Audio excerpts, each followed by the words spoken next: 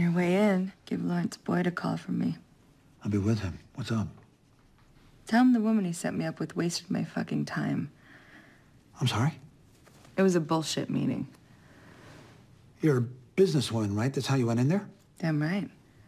Well, then, was the woman discourteous? Was she rude? No, it wasn't.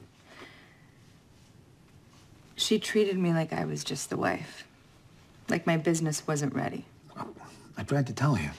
You know, you weren't ready, but you wouldn't hear it from me. You put me in touch with Spartan Ives. You said to go ahead. Don't, don't. I don't have time to have this conversation the way you need me to. You weren't ready. Leave it there. Why the fuck not? What is it that you do that you're the best in the world at? You offer a service you didn't invent, a formula you didn't invent, a delivery method you didn't invent.